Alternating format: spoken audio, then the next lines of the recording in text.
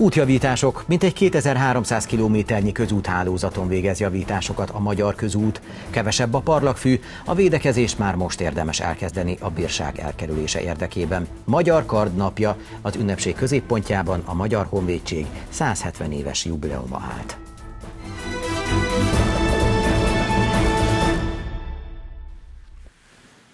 Mintegy 2300 kilométer országos közúthálózaton végez folyamatosan javításokat a Magyar Közút a megyében. A Kölcsei Televízió híradóját látják, köszöntöm Önöket. Idén 15 ezer tonna aszfalt felhasználásával közel 170 kilométernyi közút teljes körű felújítása indulhat el. Ezek topos pályázatokból és az úgynevezett 100 milliárdos beruházásból valósulnak meg.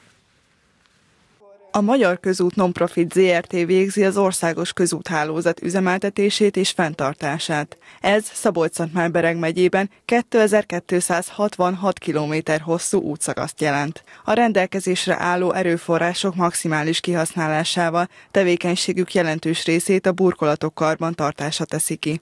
Két részre bontva végezzük ezeket a felújításokat, amely állami beruházás, a területi operatív program, tehát a TOP program keretében eh, mintegy 5,3 milliárd forint értékben végzünk eh, felújításokat, illetve az úgynevezett 100 milliárdos országos eh, felújítási program keretében 33 projekt szerint, és összesen mintegy 6,3 milliárd forint értékben végzünk felújításokat. Ez mindösszesen több mint 160 kilométer útszakaszt érint, teljes felújítását érinti ezeknek az utaknak. Tiszalök, Tiszavasvári, Ibrány, Nagyhalász, Dombrád, Döge, Fehérgyarmat és Baktalóránt térségét érintik ezek a felújítások a legnagyobb mértékben.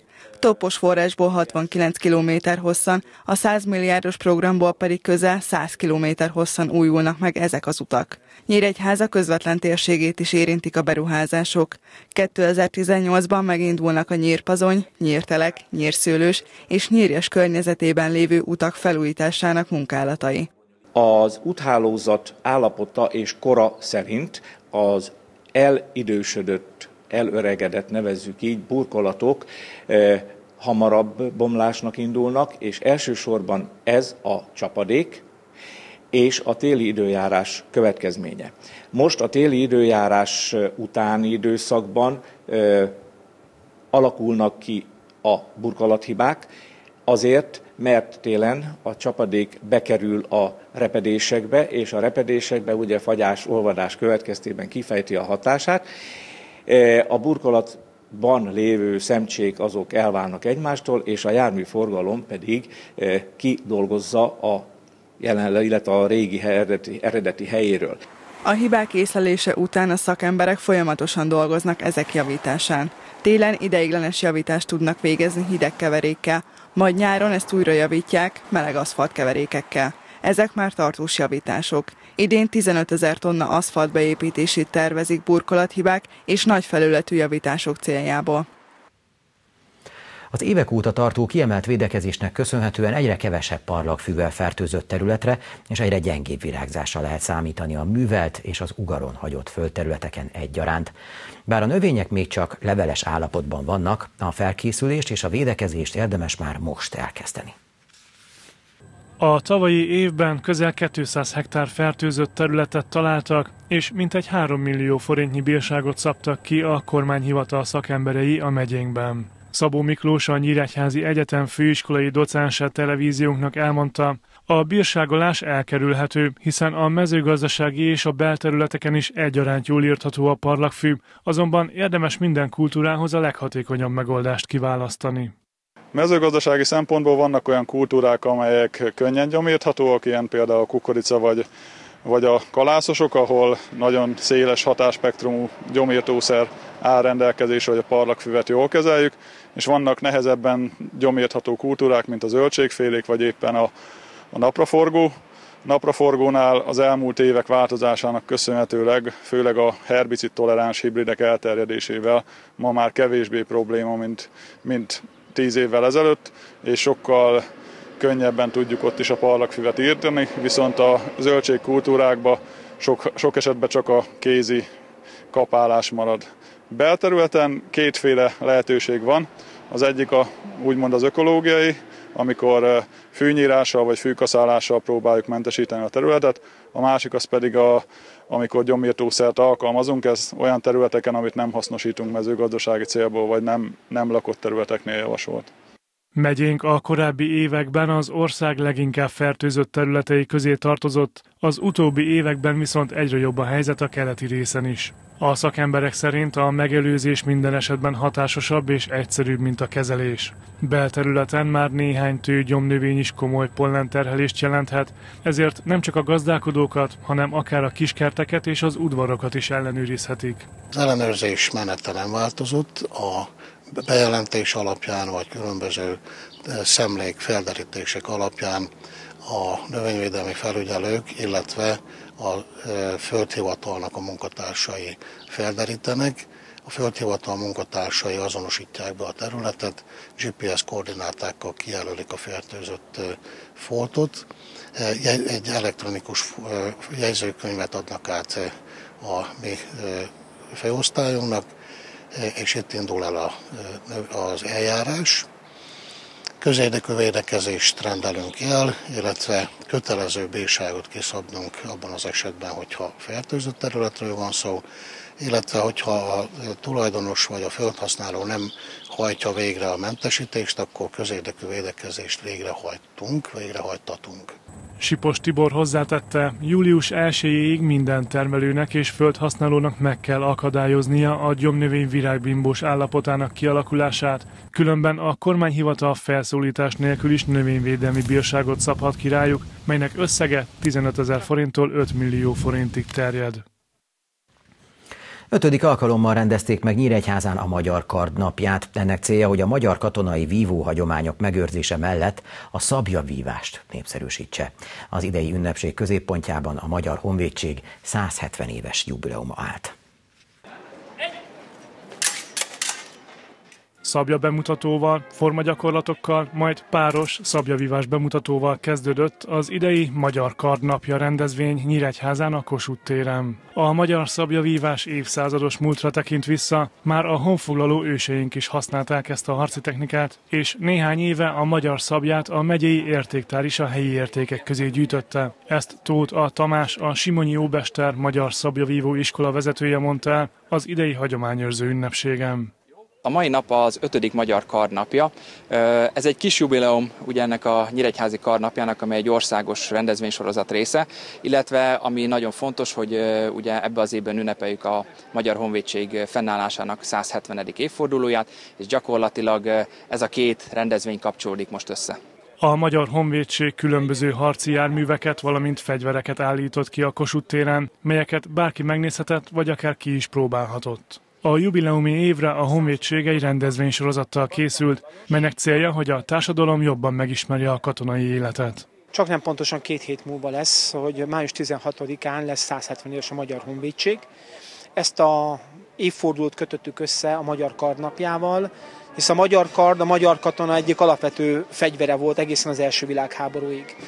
A 170-es a Magyar Honvédség egy rendezvénysorozatot is magába foglal, melynek keretében Magyarország nagyon sok településén kerül sor olyan rendezvényekre, ahol a polgárok találkozhatnak a katonákkal, vagy úgy, mint itt a főtéren, vagy úgy, hogy a katonák nyitják meg a laktanyáik kapuját. Mint közismert, 2004 óta nincs sor katonasság, pontosan ez felfüggesztése került ez az intézmény. Azóta az a kapocs a társadalom és a honvédség között, amit a fiúk, apák katonai szolgálata jelentett, megszűnt a honvédség és a társadalom között. Ezért fontos számunkra, hogy nyissunk, nyissuk ki a kapukat a társadalom felé, és találkozzunk, ismertessük meg a civilekkel, hogy miként élünk, miként szolgálunk, akár országhatáron belül, akár az országhatáron, vagy azon kívül. A parancsnok helyettes elmondta, a rendezvénysorozattal azt szeretnék elérni, hogy a civilek megismerjék, hogyan élnek a katonák, ezáltal pedig jobban megértsék, mit jelent a honvédelem, mi is az a honvédség, és milyen állampolgári kötelezettségeink vannak a hazavédelme érdekében.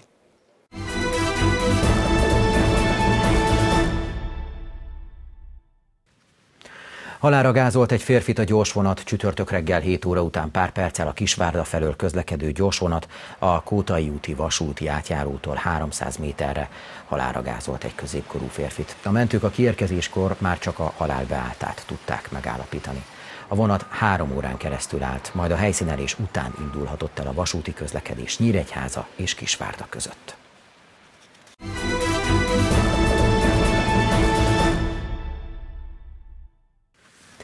Bringatúrát szerveznek a tavaly átadott kerékpárúton Nyíregyháza és Tokaj között jövő héten szombaton, május 12-én, amint egy 30 kilométeres távon két piknikpontot állítanak a szervezők.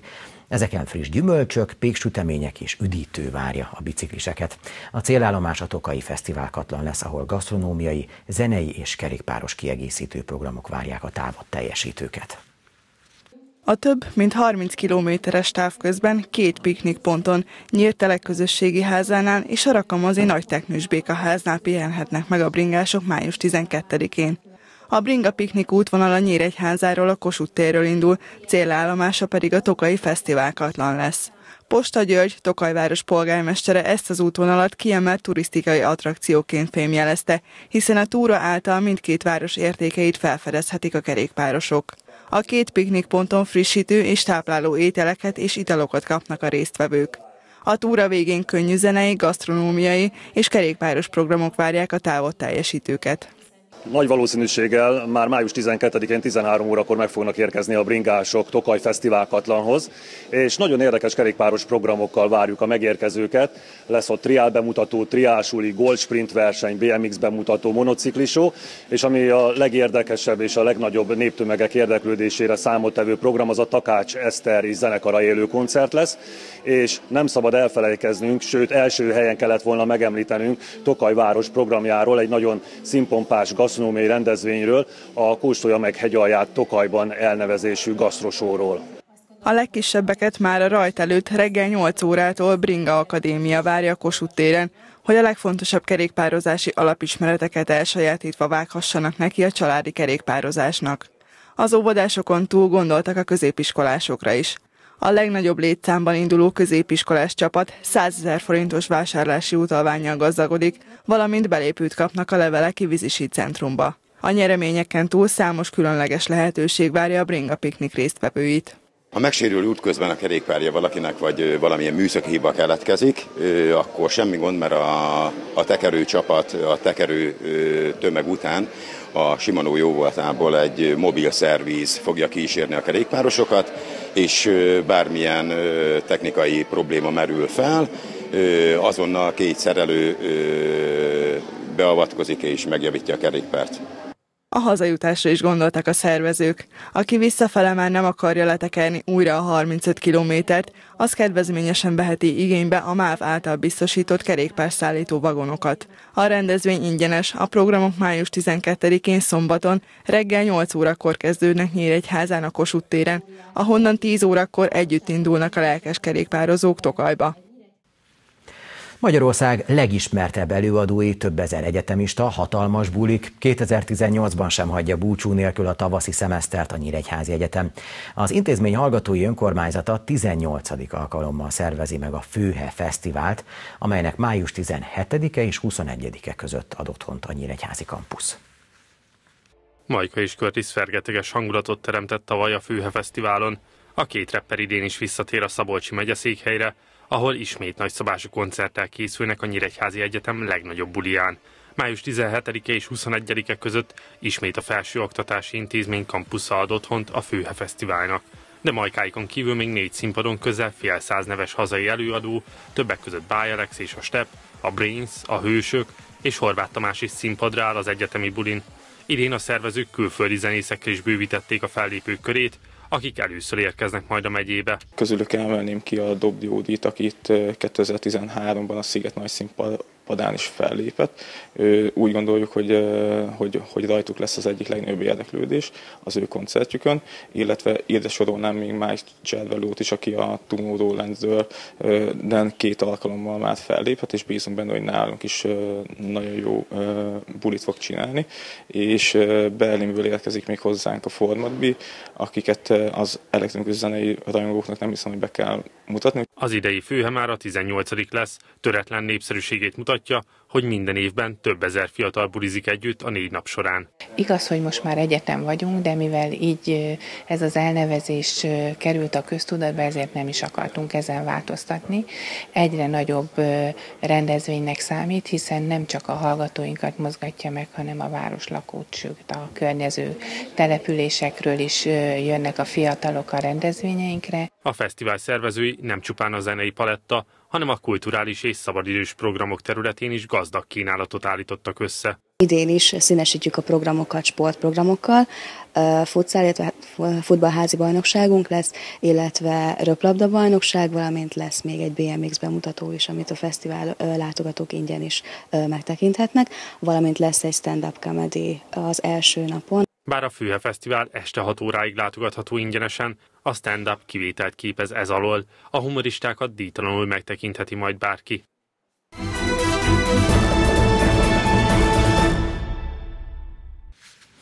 Pont nélkül tért haza Dorogról a kisvárdai futballcsapat, Kondás elemér együttese az MB2 33. fordulójában lejátszott mérkőzésen egy nullás vereséget szenvedett a kiesés elől menekülő hazaiaktól. A tabella második helyén álló vasárnap a Soroksárt fogadó Kisvárda előnye 7 pontra csökkent az üldöző Békés Csabával szemben. A legutóbbihoz képest Dorogon hét helyen változtatott a kisvárdai kezdőcsapaton Kondás elemér. A feljutásért harcoló együttes látogatott a kiesés ellen küzdőhöz, és a hazaiak egy 11-est követően Fűrjes révén már a hatodik percben vezetéshez jutottak. A Várda ebben a szezonban már többször bizonyította, hogy hátrányból is képes fordítani, ezúttal azonban sehogyan sem akart összejönni az egyenlítő találat. Kisebb lehetőségek ugyan adottak a vendégek előtt, de az átütő erő és a frissesség ezúttal hiányzott a Kisvárdából, így a korai gól a hazaiak győzelmét eredményezte egy nem túl színvonalas mérkőzésen. Igazából rosszul kezdtük a meccset, mert az ötödik percben már egy büntetőt kapott a, a dorog, amit értékesítettek is, úgyhogy innen, innen már nehéz volt ilyen pofon után egyből felállni, és helyzeteket kialakítani, illetve gólokat rúgni. Nyilván okosan kell fociznunk, és nem a meccs mindjárt első momentumaiból gólokat kapni. Nem vettünk le embert, nem nyertünk magunknak területet, nem voltak jó beadások, illetve a pontrugások sem úgy alakultak, ahogy kellett volna, amiből esetlegesen, hogyha nincs is jó játék, de pontrugásból esetleg tudtunk volna a gólt vagy gólokat szerezni. A forduló további eredményei a következők, Szolnok Békés Csaba 1-4, Budaörs Csákvár 2-1, Soroksáz Zalaegerszeg 2-0, Kazinc Barcika Győr 2-4, Grosics Akadémia Moson Magyaróvár 0-0, Gyirmút Vác 0-0, Budafok Ceglét 2-1 és MTK Budapest Sopron 4-1. A tabella élén a 78 pontos MTK áll, megelőzve a 65 pontos Kisvárdát és az 58 pontos Békés Csabát. A Kisvárda vasárnap 17 órai kezdettel a Soroksát fogadja. Nincs könnyű meccs, mert minden csapat már szívja magát, főleg tavasszal. Ősszel talán kicsit könnyedebben jönnek ki és játszanak, de ilyenkor, amikor már kezdjük meghúzgálni a vonalakat, így már sokkal szárazettebbek a csapatok. Hát nyilván fárasztó is ez a szerda-vasárnap ritmus, de jól is követ belőle az ember, illetve rosszul is. De reméljük, hogy most már a vasárnap azért sikerül győznünk. A 31. forduló további párosítása a következő, Zala Egerszeg Kazincbarcika, Ceglét Budaörs, Békés Csaba Budafok, Vác Szolnok, Moson Magyaróvár MTK, Győr Grosics Akadémia, Siófok Dorog, Csákvár Nyíregyháza Spartakusz és Sopron Gyírmót. Most pedig iradunk végén nézzük legfontosabb híreinket még egyszer röviden. Mintegy 2300 km országos közúthálózaton végez folyamatosan javításokat a magyar közút. Idén 15 ezer tonna aszfalt felhasználásával közel 170 kilométernyi közút teljes körű felújítása indulhat el. Az évek óta tartó kiemelt védekezésnek köszönhetően egyre kevesebb parlagfűvel fertőzött területre és egyre gyengébb virágzásra lehet számítani a művelt és az ugaron hagyott földterületeken egyaránt. Bár a növények még csak leveles állapotban vannak, a felkészülést és a védekezést érdemes már most elkezdeni. Ötödik alkalommal rendezték meg Nyíregyházán a Magyar Kard napját. Ennek célja, hogy a magyar katonai vívóhagyományok megőrzése mellett a szabjavívást népszerűsítse. Az idei ünnepség középpontjában a Magyar Honvédség 170 éves jubileuma állt.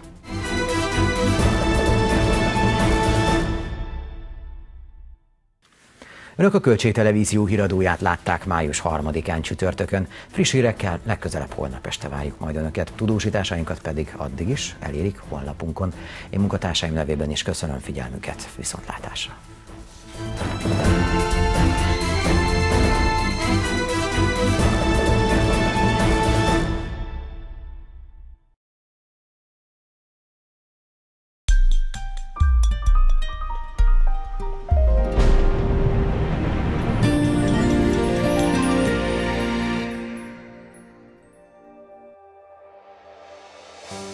Marad a nyárias idő. Továbbra is meleg, eleinte szárazabb, majd változó nedvesség tartalmú, szombaton labilisabb rétegződésű levegő érkezik térségünk fölé. Az éjjeli órákban derült, száraz idő várható, a keleti szél mérséklődik. Reggelre általában 14 fokig csökken a hőmérséklet. Holnap napközben több órás napsütés várható, megnövekvő fátyol felhőzet mellett. Csapadék nem valószínű, a keleti szél helyenként megélénkül. Délutára 29 fokig emelkedik a hőmérséklet, fronthatás nincsen térségünkben. 11 és 15 óra között erős UVB sugárzás várható, ezért ebben az időszakban nem ajánlott tartósan a napon tartózkodni. A hétvégén is napos idő lesz a jellemző, de előfordulhatnak felhősebb időszakok, és zápor, néhol zivatar is kialakulhat. Hétfőn is sok lesz a napsütés, de néhány fokkal gyengül a nappali felmelegedés, és főként az éjszakák lesznek hűvösebbek a jövő hét első felében.